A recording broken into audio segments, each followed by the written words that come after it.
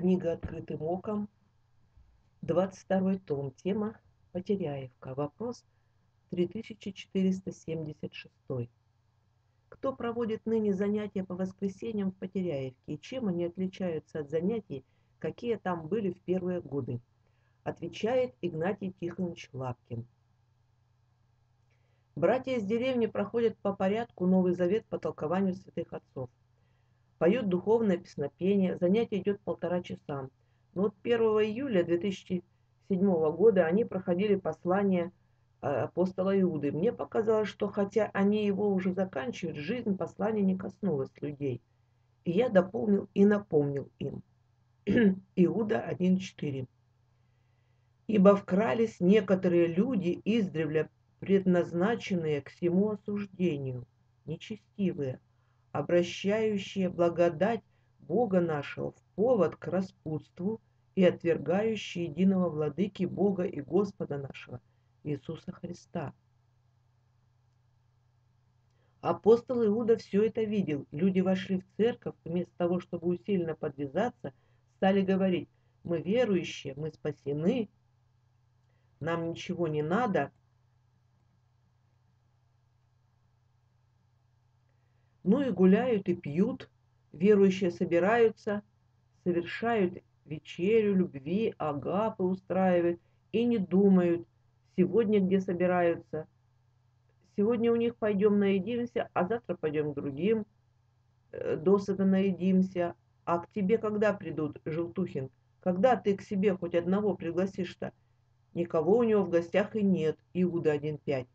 Я хочу напомнить вам, уже знающим это, что Господь, избавив народ из земли египетской, потом неверовавших погубил. Апостол Иуда хорошо знал Библию и начал напоминать бывшие похожие события из древности, что и нынешнее подобное поведение ни к чему хорошему не приведет. Вы скажете, что вы верующие, но это не означает, что вы будете в раю. А вот у сектантов так, спрашиваю еретика, ты будешь в раю? Да, Перед нами 150 человек из, из их общины. Все вы будете в раю, все, стопроцентная гарантия. Почему? Они выучили наизусть один только стих, в котором для них сконцентрирована вся их надежда и уверенность. Верующий в Сына Божия имеет жизнь вечную. Я говорю, тут написано 1 Тимофею 1.19, имея веру и добрую совесть, которую некоторые, отвергнув, потерпели кораблекрушение в вере, Павел говорит филиппийцам 3.13, «Братья, не почитаю себя достигшим, а только забывая заднее и простираясь вперед». Екклесиасту 7.8. Конец дела лучше начала его. Терпеливый лучше высокомерного. Нет, мы будем в раю. Но откуда ты знаешь, написано 1 Петра 4.17. Ибо время начаться суду с Дома Божия, если же прежде с нас начнется – то какой конец непокоряющимся Евангелию Божию? И вот апостол Иуда говорит, вышло из Египта сколько? 600 тысяч. А вошло сколько? Всего два человека. Разница есть. Грешников Бог не щадит. Сирахов 16.11. Равно как и 600 тысяч человек, соединившихся в жестокосердии своем, и хотя бы и один был непокорный, было бы удивительно, если б он остался ненаказанным. Вывел Бог, а погубил кто? Тоже Бог. За что и кого? За неверие неверовавших. Сирахов 46.10. И они только двое из 600 тысяч путешествующих были спасены. Поэтому каждый день проверяй себя. Я вроде иду, и как у меня вера? Может быть, меня уже песком забот засыпало, ничего и нет. Может, я требую там, где не трудился, и из палящей скалы, чтобы текло. Может, мне жезлом ударить в телевизор, чтобы из него пирожки посыпались? Ты вот и подумай, Иуда 1.6, и ангелов, не сохранивших своего достоинства, но оставивших свое жилище, соблюдает вечных узах под мраком на суд великого дня – и не только израильтян, а помните, ангелов на небе, сотворенных бесплотными, но и они не сохранили достоинства своего, чего-то лучше, лучшего захотели, и Бог сбросит их, и они превратились в чертей. И апостол Иуда на всех известных примерах собирается доказать, что спасутся не все верующие, далеко не все. Это коротенькое послание полностью направлено на надменных людей, которые говорят «Я верующий, я буду в раю». Не забывай, ангелы на нем были и пали. 600 тысяч избранного народа вышли и не вошли. Иуда все примеры перечисляет. Ты оглянись назад, кто перед тобой прошел уже. Посмотри теперь, с какими следами ты идешь. Римлянам 11.20. Они отломились неверием, а ты держись верою. Не гордись, но бойся. Если они не устояли, эти ветви отломились, то почему ты удержишься? Вот на таком накале надо жить. Пимон Великий сказал, мы можем не верить, это не Писание. Но он говорит, стремись на небо, но ум держи в аде, чтобы каждый день трепетать, вот тут могу споткнуться и в аду оказаться. Не нам, чита, люди падали, поэтому не гордись, но трепещи. Сегодня пока да, а не знаешь, что случится к вечеру, и в нашей жизни еще не вечер. Иуда 1.7. Как Содом и Гамора и окрестные города, подобно им, блудодействующие и ходившие за иною плотью, подвергшись казни огня вечного, поставлены в пример. Видите, как удачно апостол перечисляет. Начинает, вышли из Египта, погибли, ангелы на небе погибли, Содом и Гамора погибли. Он всех собирает, которые погибли. Ни один апостол, ни один пророк так не говорит. Иуда всю историю от начала создания мира берет и показывает. Мертвецы, мертвецы. Да дай Бог любящий, как Златоуст говорит, но не забывай, Бог, которому имя любовь, навел потоп. Вот здесь волны гуляли, акулы плавали. Я на сто процентов уверен, вот эти лага, которые вот здесь есть, образовались после потопа. Я докажу это любому в течение пяти минут. Любому этнографу, географу, биологу их происхождения. Тот самый Бог, которому имя любовь, ибо у него другого имени не было. И не, а не так, что ему сегодня имя любовь, а на суде Божьем он будет другой суровый. Он всегда один и тот же. Вчера, сегодня и вовеки. И на это надо настроиться. Мы спасаемся милостью. И друг другу надо помогать. Брат, как ты, как бы дорожка к нашей беседке, где мы молимся, не заросла. Если в нас то чувство, какое ты испытал, испытывал, когда ты девушку встречал, ходил к ней, цветы носил, вот такая должна быть и встреча со Христом, таинственная, радостная. Прихорошись, приведи себя в порядок, встань. У меня сегодня встреча интимная, тайная, никто не видит. В определенное время ночи, когда подобная встреча в последний раз была, когда я ему все открыл, рассказал о недоумениях, о расхождениях с ближними, как мне не хватает помощи Божией. Дети растут совсем не такие, как я думал. Ты разреши перед Господом, увидишь, как новый свет засияет – все будет по-другому. Эта встреча решает все, и ради нее стоит вставать рано. Как бы поздно не лег, я будильник никогда не перевожу, и ни разу еще об этом не пожалел. Голос какой-то говорит, тебе надо это, сердце уже не то, да и годы дают знать, отойди от меня, сатана, ты мне соблазн, соблазн. Сразу его бей на отмашь, впереди работа, но сейчас у меня встреча с моим Господом, сейчас я подключусь к великому генератору, Сейчас начнет заряжаться мой стабилизатор. Если молитвы нет, начни, брат, сначала. Выпроси у Бога эту радость. Лука 6.12. В те дни взошел он на гору помолиться и пробыл всю ночь в молитве к Богу. Ему это надо. Вы знаете, что Иисус писал письмо рукой своей. О том читаем в житии святого Фадея на 21 августа. Христос написал письмо Авгарию Дескому. И вот апостол Иуда, когда писал это послание, он видел тогдашних людей, которые перед ним. Ему нелегко сие послание далось. Так можем предполагать. Другое дело, как апостол Иоанн пишет, «Дети мои, любите друг друга». 1 Иоанна 4.8. Кто не любит, тот не познал Бога, потому что Бог есть любовь. Но когда этот Иуда писал, и потом целое тысячелетие будут думать, что он злой какой-то, как митрополит Иона, что он ни одного слова не нашел сказать и написать хорошего про тогдашнюю церковь, Иуда про это и не подумал. Такие люди понимали все, ибо они были вдохновлены Духом Святым. Вспомните Иеронима, который Библию перевел на латинский язык, и он писал, что священники продажные, блудники, народ не учат, народ сгнил, совсем ничего не знает, И все это в своих посланиях написал. Язычники сразу все переписали, вот христиане какие. И самые лучшие друзья ему письма написали из Рима. Ты что делаешь? Нам на улицу выйти нельзя, в нас все пальцем тычут. Разве можно раздевать мать нашу церковь, святую, православную? Я написал про Потеряевку нечто такое. И одна наша сестра мне говорит, теперь сроду никто не приедет сюда. Ты такое написал, что все здесь плохие. Я знаю вкус этой, гори, этой горечи. Но скажите, Иероним написал правильно или нет? А при чем тут правильно, когда все люди теперь подтыкают написанным им? Он правильно написал. Теперь те, которые упрекали Иеронима, ни одного даже имени нет, а его имя осталось. В 420 году умер блаженный Иероним. Он открыл все язвы священства, разрезал, и началось излечение. Без этого нельзя.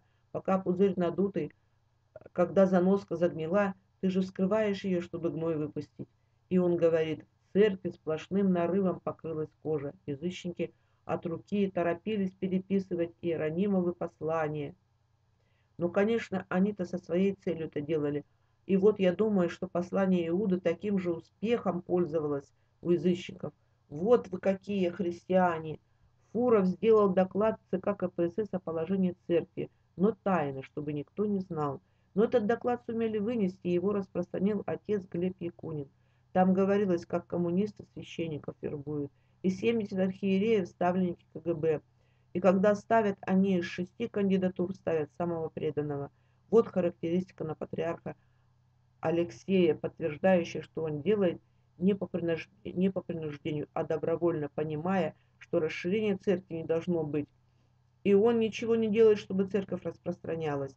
И все поучения он на Западе выполнял. Это его биография. И когда отца Глеба Якунина арестовали, дали 7 лет, то ему обещали скосить, скостить половину срока, если он расскажет, каким путем к нему попало выступление Фурова. Но так и не смогли узнать, и он полностью отбыл срок. Обличение Иеронима и Иуды, чтобы у вас в памяти были. Как только читаешь Библию по порядку, то порадуй свой разум, порадуй сердце. Я знаю, нелегко. Должно быть, далось ему это послание. Этот апостол имел любовь к народу Божию, но он им напомнил о всех страшных поражениях ангелов. Людей, чтобы сегодняшним показать, что те, которые поступали не по слову, не слушались Богу и Егову, они все в аду.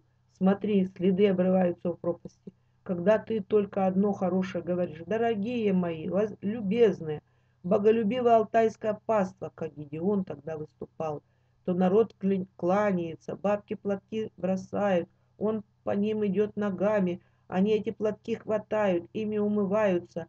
Так можно жить. А когда бы вышел и сказал, да, когда вы исправитесь, окаянные, я вас жезлом бить буду, как Прокл сказал Златоусту. Владыка, прогони их всех жезлом твоим. Но еписк, то епископ и секретаря сего чуть не убили за это. Тебе говорит, их никогда не исправить. Вот это послание Иуды, маленько, соборно, то есть всей церкви направленное, призванным, которые освящены Богом Отцом и сохранены Иисусом Христом. Иуда 1.8. Так точно будет и с семи мечтателями, которые скверняют плоть, отвергают начальство и злословят высокие власти. Вот видите, насколько мерзкие дела творились. И он пишет не о внешних людях, а о тех, которые проникли в церковь, притом эти люди издревле предназначены к погибели. Пали демоны, так точно и люди эти падут, как Содом с Гоморрой сгорел, и так точно и эти сгорят в аду. Иуда перечислил наказанных, неоспоримо отвергнутых Богом.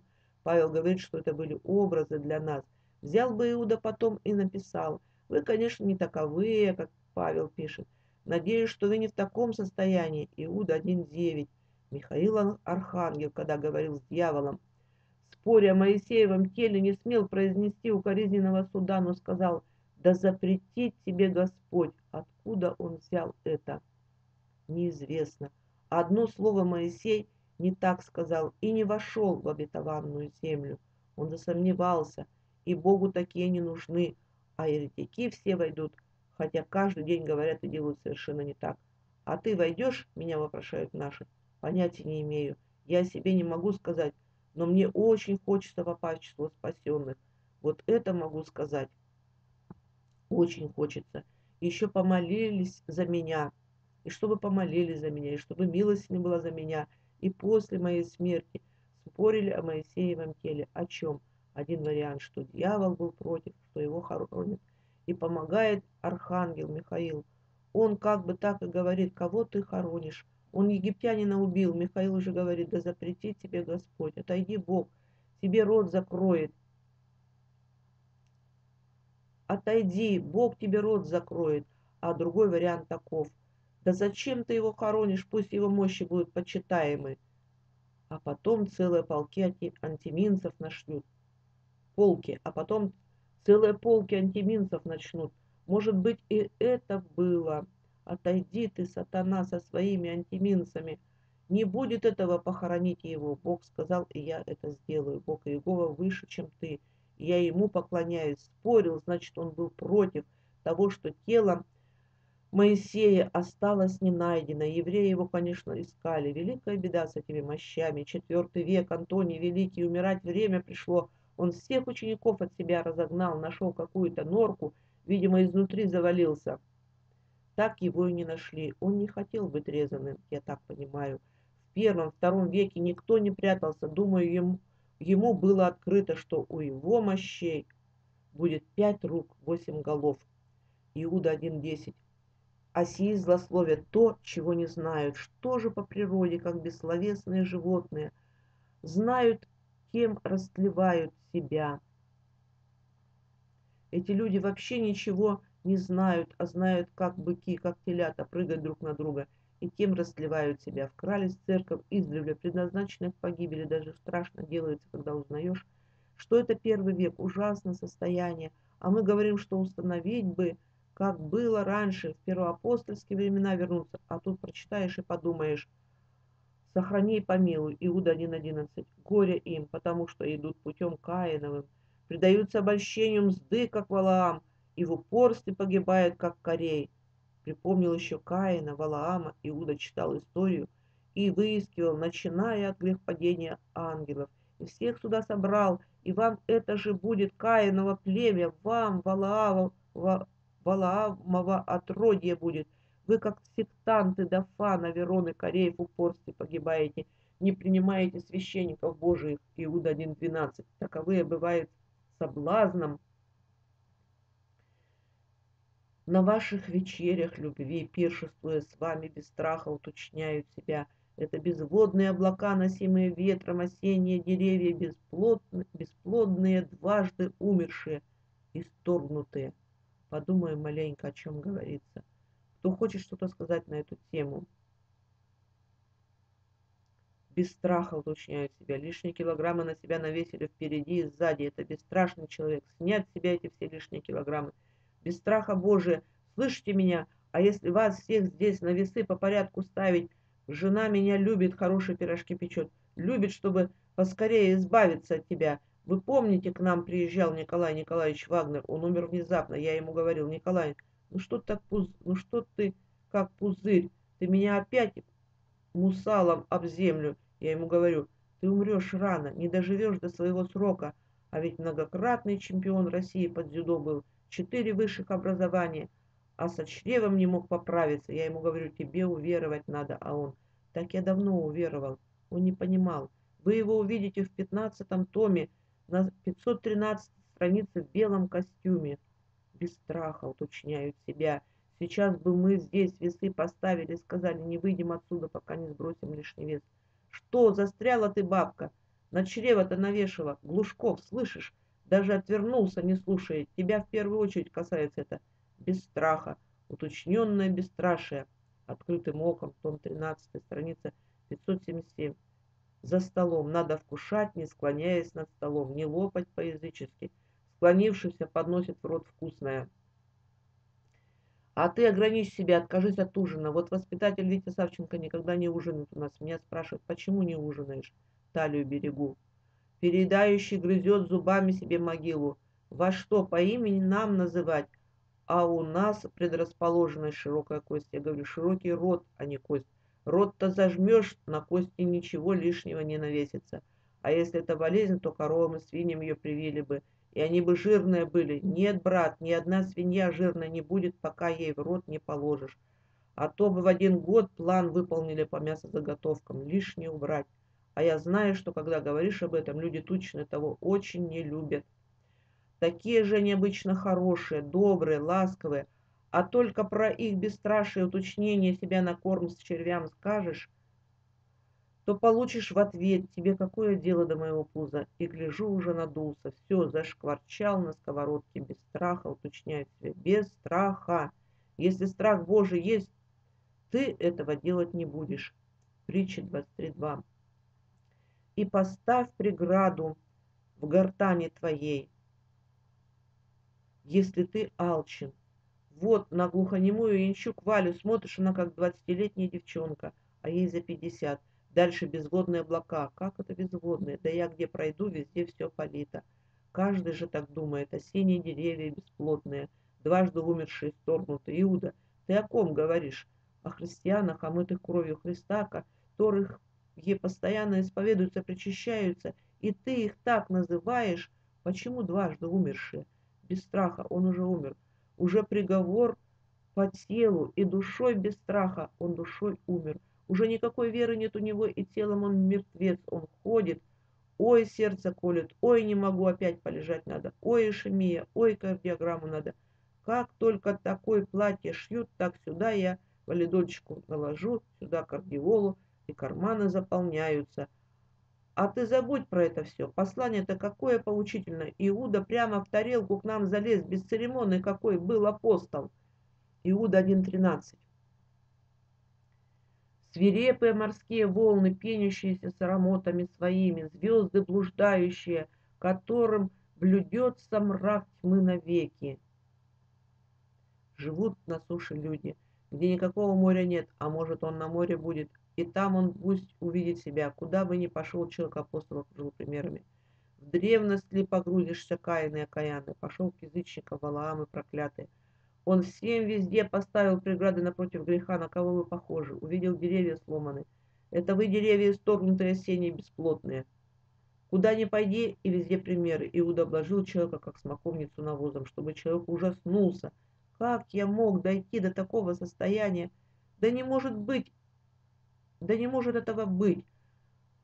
Лука 13.8. Я копаю ее и обложу навозом.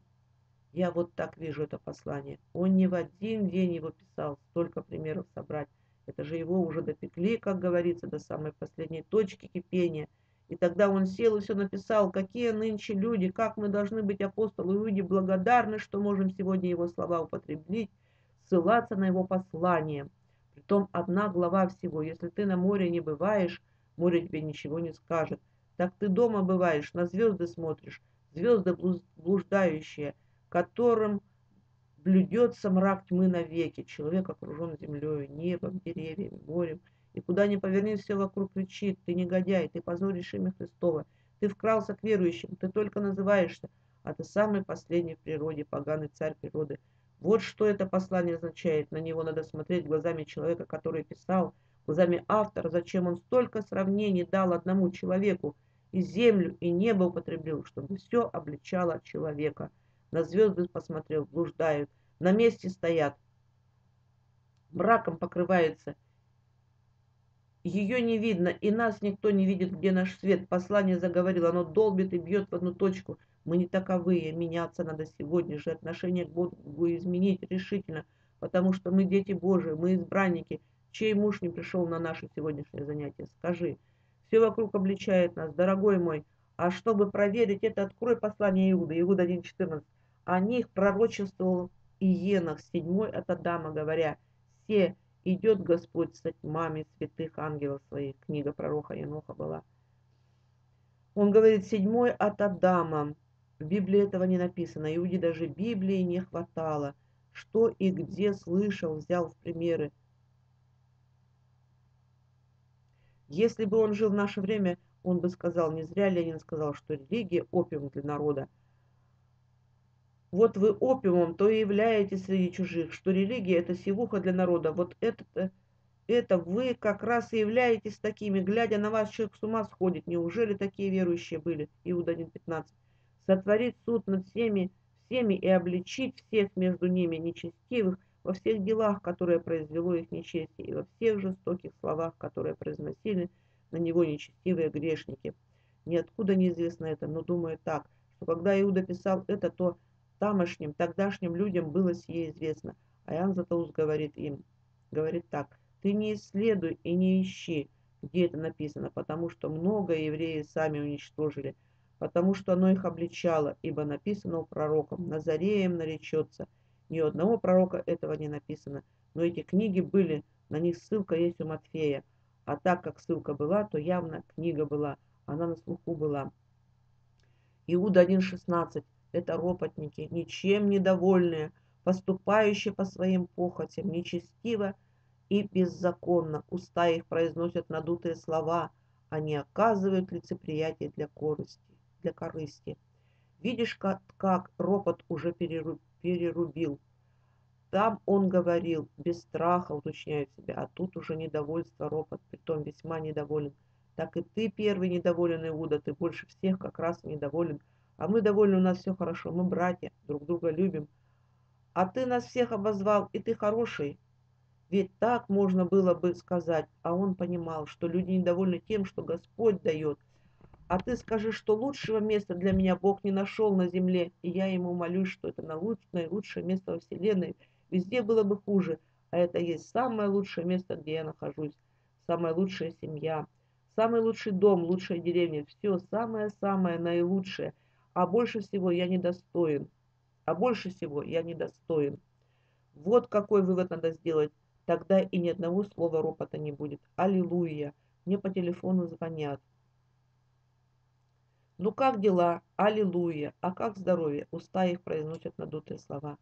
Они оказывают лицеприятие для корысти. Видите, он даже в рот залез им, напыжится, себя верующим показывает, а на самом деле ничего и нет. Как только прикоснешься, увидишь неверующее, неверующее суждение – он не берет с небесной позиции. Из Библии ничего привести не может, а если ему из Библии приводишь, он даже ноль внимания. Он свое давит тебе, если привели пример из Библии, ты сразу остановись, правильно или неправильно. Скажи, брат, благодарю, надо обдумать, что Бог сказал так. А если Господь говорит, то что ты лопочешь, что ты бормочешь, это все кончится, притом кончится не так, как ты думаешь, а по-другому мгновенно. И не будет ни одной минуты раскаяния, потому что нам говорит из Писания. Кто нам говорит из Писания? Обличает, надо благодарить Бога и радоваться. Завтра может не быть этого дня. Мы счастливцы-то какие. Вы думаете, в селе Корчино, хотя в одном месте за 50 лет был такой разбор Слова Божьего, это нам Бог дает. На родном языке, с толкованием, своя среда. Рядом веселые дети играют, все сытые, в сухом, в сухом довольные, здоровые. Да нам ли Бога-то не славить, но ничем недовольные ропщут и ропщут, вы никогда не ропщите, ни на что не ропщите и никогда не подставляя гнилые подпорки, извиняя самого себя.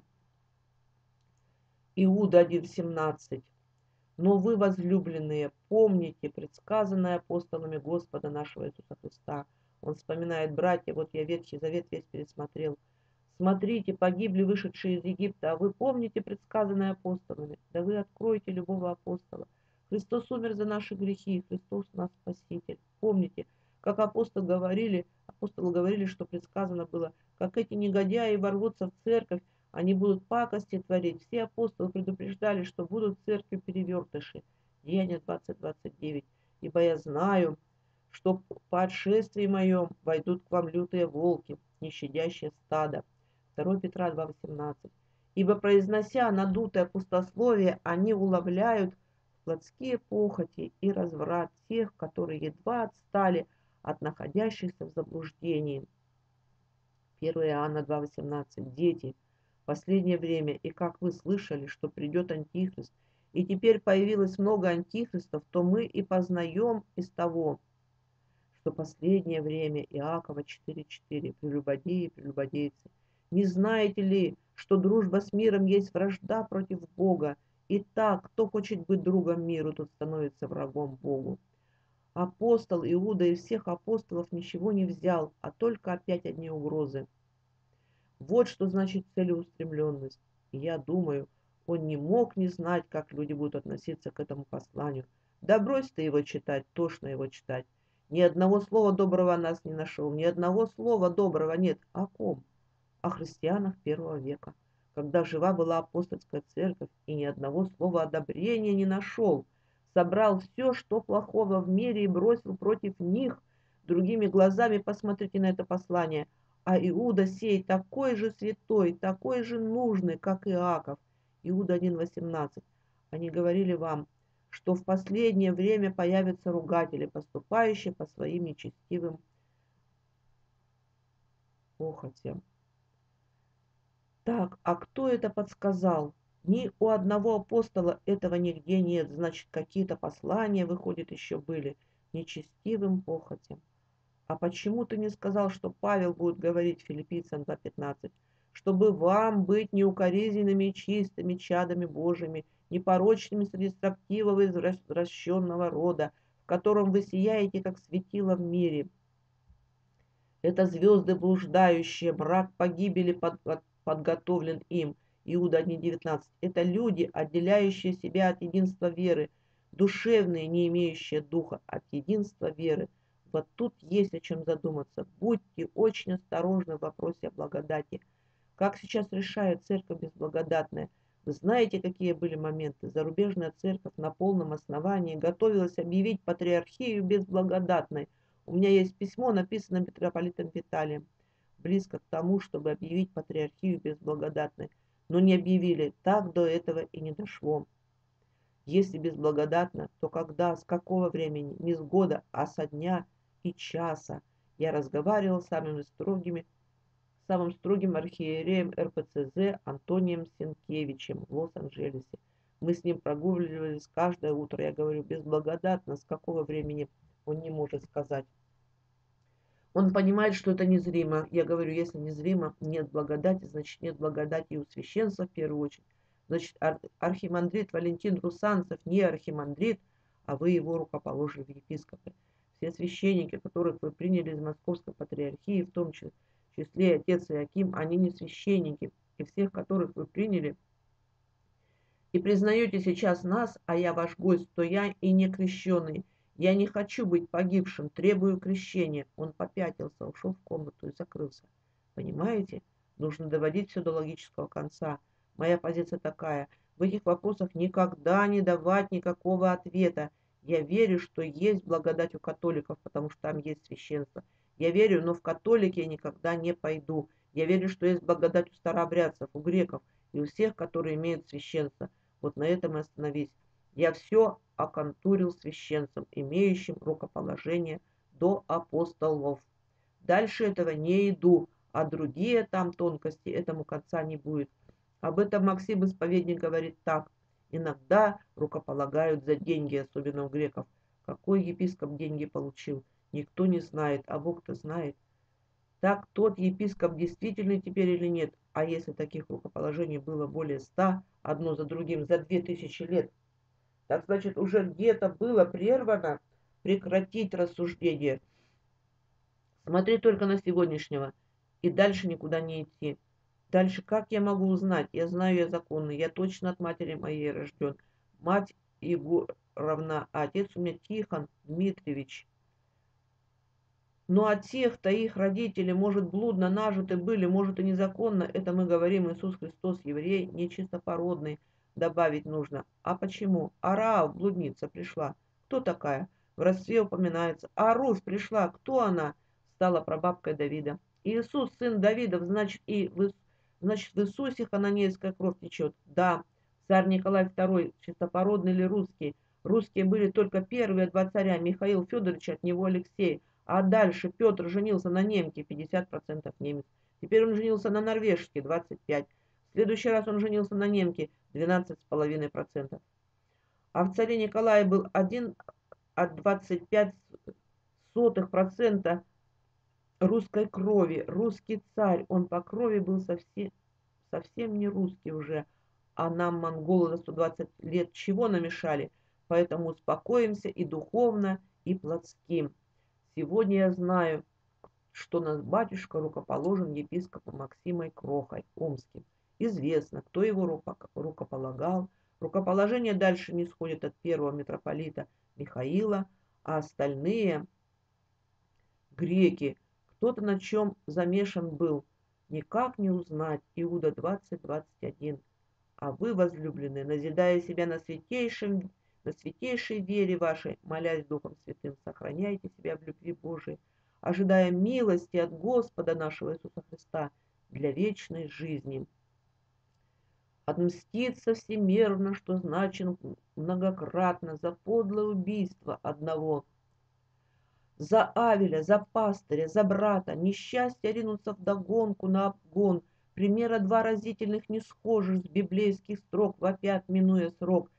Не всемеро, конечно, много строже Бог Иегова был и остается строг, Страшнее всего духовное убийство, творимое священством в алтарях, выращивают плевела не винограда кисти и трудятся вообще напрасно зря.